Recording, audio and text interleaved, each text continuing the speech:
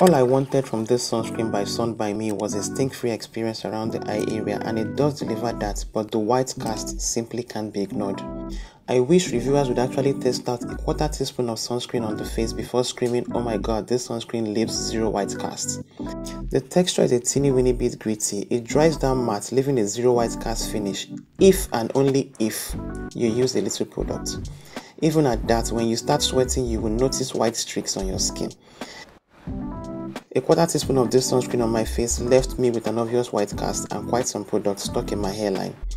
I wouldn't recommend this sunscreen to anyone with a dark skin tone. Let's just leave this for pale skin folks. This was simply a waste of $16 in my opinion. Like seriously guys, I'm pained. Don't forget to please like this video if it was helpful in any way and also subscribe to my YouTube channel. I'll see you guys in my next video. You do have a nice day.